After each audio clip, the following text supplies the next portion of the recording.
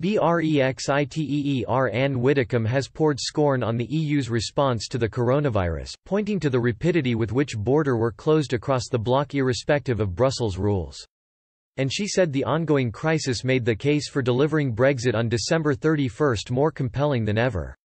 EU member states reimposed border controls in defiance of the Schengen Agreement to which 22 of them are signatories as the seriousness of the situation became apparent earlier this year. Ms Widdecombe, a former Tory MP and Brexit Party MEP, said the incident was illustrative of a lack of solidarity.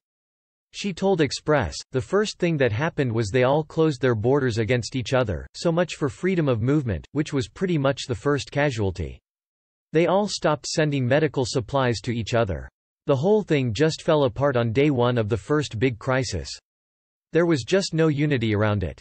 Merkel could have said anything at that point, or von der Leyen could have said anything, and so what?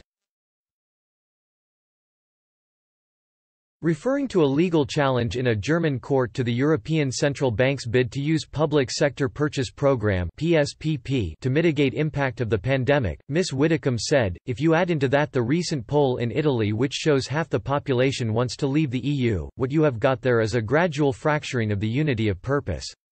Once they start challenging each other at law then you have got a problem. Ms. Widdecombe also also the situation underlined the importance of leaving the bloc on schedule, at the end of the year. Asked at what stage the UK's economy would begin to feel the impact of the pandemic, she said, I think we've passed that point.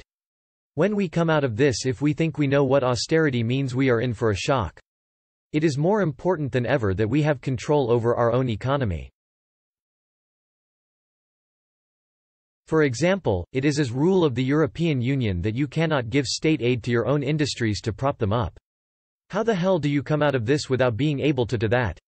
We have got to be free to make our own decisions. So far as I am concerned, Brexit has never been so compelling. As such, she agreed with Mark Littlewood, Director General of the Institute for Economic Affairs, who last month suggested any indication by Prime Minister Boris Johnson that he was willing to consider a further delay would be pounced on by Brussels. Ms. Widdecombe said, I am sure that is true, I share that judgment. I think Boris Johnson has got to be very firm in saying every time he is asked, which he is quite frequently, no, we are going on the 31st and that is it and there is not any argument.